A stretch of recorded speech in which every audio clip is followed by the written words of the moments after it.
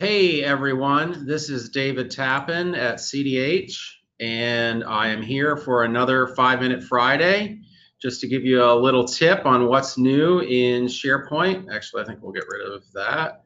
But um, anyway, uh, just to give you a little uh, tip about SharePoint Server 2019. So SharePoint Server 2019 has come out.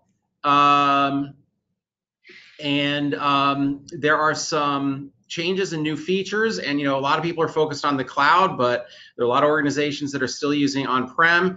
And the good news about sharepoint server 2019 is that it is a feature match for sharepoint online as of january 1st 2018 um, and so there's a lot you've got modern sites and uh, a lot of other features modern libraries that uh, people have been really waiting for on premises, and they're here now. So uh, what I want to focus on today is just a little bit of a change that's occurred.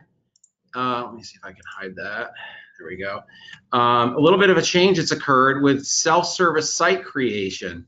So um, in on-premises SharePoint, you've always had the ability to allow users to create their own sites.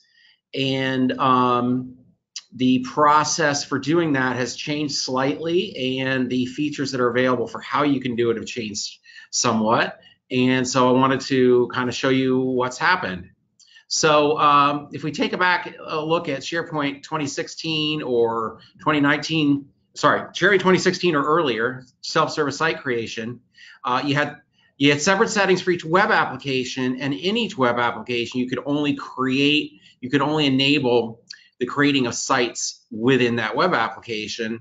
Uh, and also, um, you can only create classic team sites. I mean, it didn't say that, but that was all that's available. So here you can see your self-service site creation management page in SharePoint. This is SharePoint Server 2016. Uh, and um, you can see that you can create a team site under a certain path. Um, you can also use this if you wanted to allow them to generate their own my sites uh, as opposed to just pre-generating them, which is what a lot of organizations do. Um, but um, in any case, you could allow them to create team sites and create uh, specialized paths based on the username if you wanted to. But um, but you know you were limited to that site collection that you're in, or excuse me, that web application that you're in. So what about SharePoint Server uh, 2019? I've got a test environment set up here, and um, you can see here that we have our main home site, uh, and then we have a what I'm calling people POC, which is the my site. And if we take a look at uh, here, let's just open a new window here. Um, we take a look at our test demo home site. It's, you know, of course, SharePoint Server 2019, you now have modern communication sites and team sites that you can make for your home pages uh, or for your uh, sites. So this particular site is uh, using a modern home page. Um, and just like in the cloud, you now have this link here called SharePoint, which takes you to uh, what they people call the SharePoint app. I'm going to click on it uh, you know, I haven't really done too much. So normally you would see all the sites I'm following uh, in here. Haven't done that. But what you can see is that there's a create site button. So this is how self-service site creation works. And you know, if you've been working in SharePoint Online, you've probably used this, and it's pretty easy and straightforward to create modern sites in the cloud. Um, and uh, you can do the same thing here. So if I hit create site, um, I get these two choices. Um, by default, this is how it would be set up, and I can choose to create a team site or a communication site.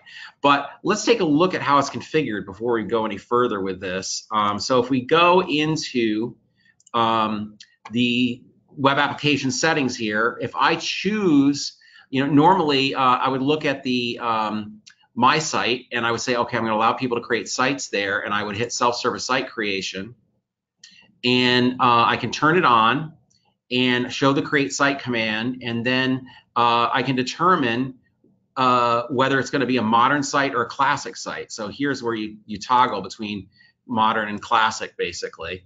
Um, and um, what's really new is I don't have to choose in the like I did in the old uh, SharePoint 2016 and earlier, I don't have to choose the same web, web application I, I'm in if I'm making modern sites. I can choose to either make it in People POC, or I can say, you know what, I'm going to make it in uh, another web application, which in this case is my main one, DVSPPOC01, um, and that will allow people in their My Site, basically, to create sites in the home site, or you could create a special web application if you wanted to for people to make all of their self-service sites, which you know a lot of people have wanted to be able to have that kind of control, and now you can do that.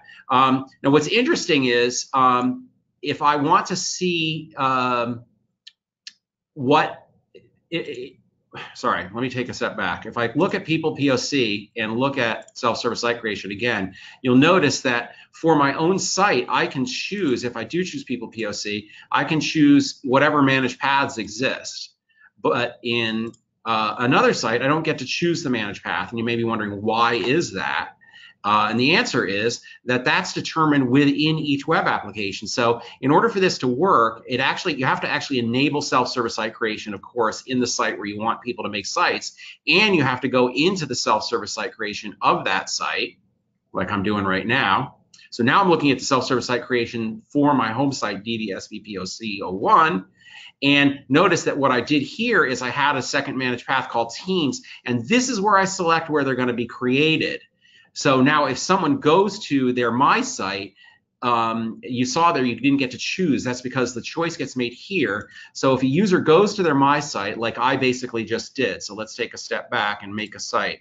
Um, if you notice, my URL here is people POC. So let me go through this one more time just to make it really clear. Um, notice here I'm at DVSPPOC01, right?